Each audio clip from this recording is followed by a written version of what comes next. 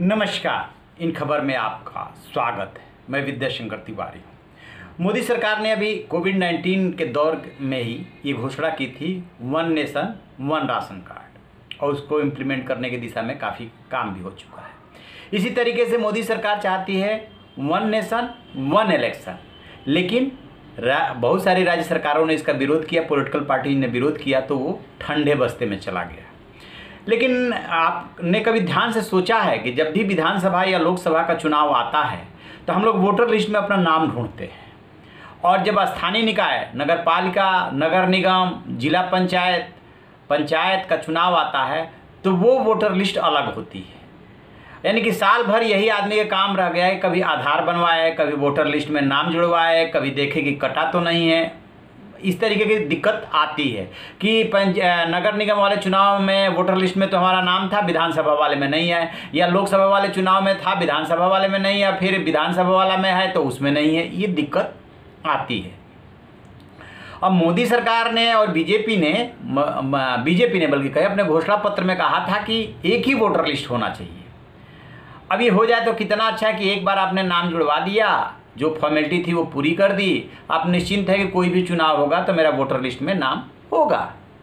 इसी दिशा में अभी हाल के दिनों में प्रधानमंत्री कार्यालय में प्रधान सचिव हैं। पी के मिश्रा उन्होंने एक मीटिंग ली, जिसमें कैबिनेट सेक्रेटरी राजीव गाबा भी थे, पंचायत सचिव सुनील कुमार भी थे और चुनाव आयोग के प्रतिनिधि भी थे और इस पर मंथन हुआ कि इसको कैसे लागू किया जाए। दो लागू करने के तरीके हैं। भारतीय संविधान का अनुच्छेद 243 के एंड जेड ए, ये डील करता है, राज्य निर्वाचन आयोग के बारे में बात करता है कि जो राज्य का आयोग होगा, वो देखेगा स्थानीय निकाय चुनाव और वोटर लिस्ट का काम। और जो आर्टिकल थ्री टू फोर है, वो बात करता है लोकसभा और विधानसभा चुनाव की बात की वो चुनाव आयोग कराएगा और वही लिस्ट तैयार कराएगा। तो देखेंगे कि जब भी लोकसभा और विधानसभा का चुनाव होता है तो जिला प्रशासन उसके बिहार पे जो वोटर लिस्ट तैयारी करता है, वो चुनाव आयोग के तहत काम कर रहा होता है। और जब स्थानीय निकाय का के लिए वोटर लिस्ट तैयार हो रही होती है, तब वो लखनऊ से गवर्न हो रहा होता है। लेकिन आम आदमी को इससे क्या मतलब है कि कहाँ से क्या गवर्न हो रहा है, कहाँ से नहीं? उसको तो एक वोटर लिस्ट रहे तो ज़्यादा अच्छा है। तो इस दिशा में चर्चा हुई और चर्चा होने के बाद ये हुआ कि दो रास्ते हैं। एक तो राज्य तैयार हो जाए कि हम जो है, लोकसभा और विधानसभा के लिए जो वोटर लिस्ट बनेगी भारत निर्वाचन आयोग के नेतृत्व में या देखरेख में, उसी को मान लेंगे स्थानीय निकाय चुनाव में भी। लेकिन इसमें डर और आशंका इस बात की है कि जब सेंटर में दूसरे की सरकार रहेगी तो वो कहेगी कि आपने अपने हिसाब से लिस्ट बनवाई है। हालाँकि जो भारत का निर्वाचन आयोग है, उसका सरकार से कोई मतलब नहीं, वो इंडिपेंडेंट अथॉरिटी है।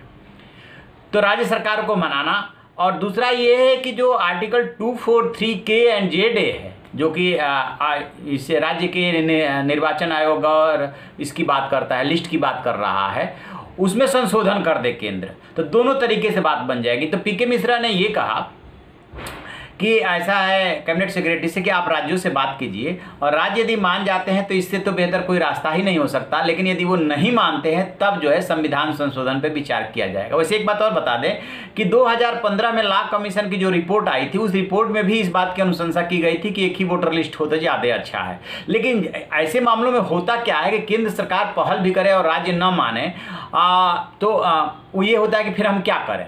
संविधान संशोधन कीजिए।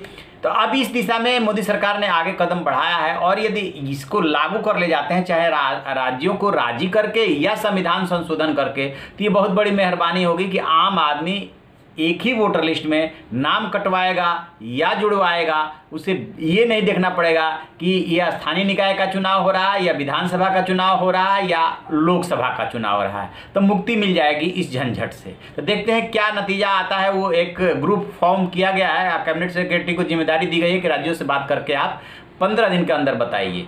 तो इंतज़ार कर लेते हैं। जैसे ही कोई इसमें और अपडेट मिलेगा, आपको हम बताएँगे। देखते रहिए हमारा डिजिटल चैनल इन खबर। थैंक यू इन खबर चैनल को सब्सक्राइब करें और बेल आइकन दबाना ना